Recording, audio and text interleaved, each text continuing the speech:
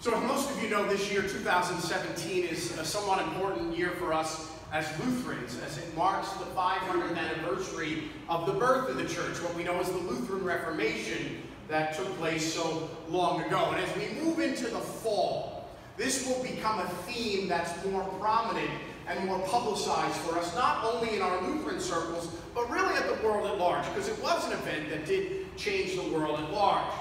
And it's not that we want to get bogged down in history and spend so much time looking at the past that we lose sight of where we are today. But I think there's often a benefit in looking at the past and seeing where we've been because it can help us move forward and look towards the future. And I think that there's a lot in our history and what started 500 years ago that helps us to understand what Jesus was talking about in the gospel lesson today when he told the parable of the seed sower.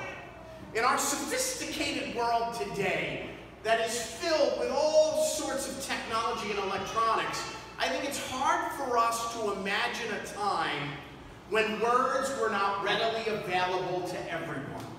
But that's exactly the context of the world that surrounded the people of God at the time of the Reformation 500 years ago. It was only the elite and the select few who had an opportunity to have access to education who really had words or could write and read. The majority of the world was illiterate, incapable of reading and writing and communicating other than with language to each other. And so the people at the time of the Reformation a long time ago were completely dependent upon their leaders, those in authority, for any information that they needed in life. And this was especially true when it came to the things of faith, when it came to the planting of the seed of God's Word. It was the responsibility of the leaders of the church, the bishops and the priests, to communicate to the people the things of God so that as we so often talk about, Faith literally could come by hearing the message and the word of Christ Jesus. If those leaders did not plant the seed of God's word, they didn't speak what God said, then normal, average, everyday people would not have the opportunity for the seed of faith to be planted and to grow in their lives. And so there was some concerns in the time leading up to the Reformation. Concerns that I believe were raised by Jesus at the time that he stood on the beach and he told this parable of the sower seed. There were many at the time of the Reformation 500 years ago who were critical of the hypocrisy of the leadership, that they weren't communicating and sharing the seed of God's word to the people so that it could grow. It was like the seed that got cast along the path that the birds came up and ate. It didn't have a chance to take root and to grow at all. And this was all built upon that need for the instant gratification that was being presented by the leaders of the church who said if people used money to buy indulgences, those pieces of paper that said that their sins were forgiven, then, then they would have God's grace. The problem was, is that once the money ran out, you didn't have an opportunity to have God's grace and forgiveness anymore very much like the rocky path upon which the seed of God's word fell in the parable that Jesus told, that after that instant gratification, it was quickly scorched out by the sun, burned out by the sun. And all this came from the thorny ground of greed that the leaders of the church at that time had. They wanted earthly treasures so that they had the money needed to build St. Peter's Basilica in Rome. And so it was the desire for those things that became the thorny place that choked out the growth and the planting of God's word and the seed of faith. And so those reformers 500 years ago wanted to get the church back to the good soil so that it could receive and hear God's word and grow in ways that it produced fruit.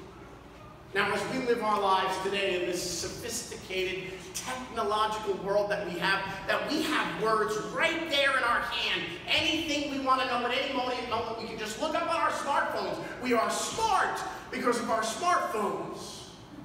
We don't have to worry about such struggles, such problems. So maybe we're asking ourselves, do the words of Jesus in the Gospel lesson today still apply to us? Can they say anything to us? Because after all, all of us who are here today, I'm sure think we are the good soil.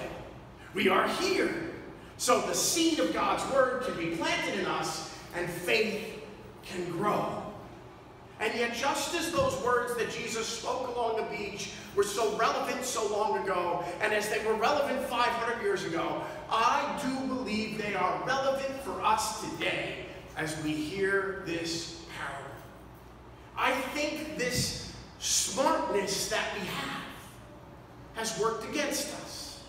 As we talked about a little bit last week, as we alluded to, we have become so wise and intelligent because we are so readily available to technology and information everywhere we look that the danger exists that we have become so arrogant and self-dependent that there's no room left for God to plant the seed of faith in us anymore. It's like the seed along the path, and it gets devoured quickly by the birds. And we too now live in this culture where, yeah, we have all this technology that's led us to TV and social media and all these things. And now you can go, you can find churches on TV and social media. But there are certain ones that preach what we call this gospel of prosperity. That if you believe enough in God, everything you dream of and wish for and want in your life will come to you. It's that power of positive thinking until life doesn't go the way you plan, until life doesn't exactly work out the way you want. This is the rocky ground. The seed grows up quickly with great joy, but then it's burned out by the sun, the heat of life not working out the way we want it to. And certainly now more than any other time in history, we are walking among the ground of thorns that is brought to us by wealth. The prosperity that surrounds us is a constant struggle and deterrent to the planting of the seed of faith, the seed of God's word to take root in our lives and grow and produce those fruits. So yes, I believe the words of Jesus in the parable are relevant and powerful and important for us today, even though we're the most literate and informed people in the history of civilization. This coming week, moon dirt from Neil Armstrong's first trip to the moon in 1969 is going up for auction. I don't know if you read this or not. And this little bag, it's like a sandwich bag size of moon dirt, is expected to fetch two to four million dollars. And what's the owner of this moon dirt going to get out of this? Is this going to be the dirt that they can plant seeds in that are going to bring forth plants that are outside of this world, the most incredible things in the universe? I think not. It's just going to sit there on a shelf to be looked at. And this is what I bought moon dirt for two to four million dollars. We have access to dirt that is free that will take us to the moon and beyond, will bring us growth in ways that we can't possibly imagine. And the question for us today is, remain as that good dirt, that good soil? How do we be those ones where God plants that seed of His Word and faith grows in wonderful ways? One of my frustrations as a pastor in today's world is the fact that the seed of God's Word is available in ways never dreamed of before, in ways that we've never seen before. There are churches everywhere of every different background and every different style offering all sorts of different schedules for us to attend. And yet church attendance is on the decline. And you don't even need to go to church anymore with all the technology that we have. You can carry the Bible around with you in your phone, and it doesn't even weigh anything. You can have devotions come to your phone every single day. We live in this world where we have now translation technology that allows anyone, any place in the world of any language, to hear the Word of God, to interpret the Word of God, and to receive it and to understand it. We have YouTube that even if you don't make it to church anymore, you can actually hear the Word of God and have the seed planted by clicking on the email and watching 10 minutes of a sermon. And yet, I think we take the planting of the seed of God's word for granted. For all the access and freedom that we have, how much do we let it take root in us? How much does it grow? This is what Paul was talking about when he talked about the struggle between the flesh and the spirit. And if we're going to be that good soil, we need to take heed to the words that Paul said to us in the, in the epistle lesson from Romans today. That we need to know that the Spirit of God dwells in us. That's what baptism is all about. And we need to be in the things of the Spirit. We are the good soil when we allow the Spirit of God to cultivate us and work in us. And when the Spirit of God works in us, we have exactly what Isaiah the prophet was talking about over 700 years before Jesus preached along the beach. Listen to what God said through Isaiah. My word that goes out from my mouth, it shall not return to me empty, but it shall accomplish that which I purpose, and it succeed in the thing for which I sent it. What can we do? What do we have to become that good soil? The fact of the matter is we don't really have to do much at all. We don't have to spend $4 million for moon dirt to do it. All we need to do is let God's Spirit work in us. And God's promise is that His Word, that seed planted in us, will accomplish its purpose. It will not return to God empty. It will achieve the goal. And the goal is to transform lives and transform the world.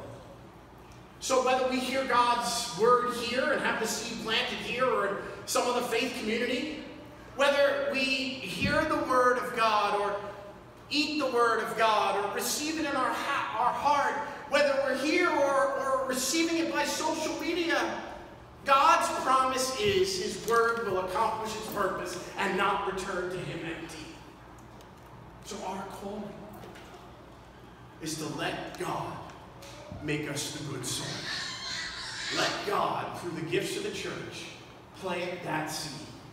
And when God does, wherever we may be, we will be transformed and we will have the power to change the world. Amen.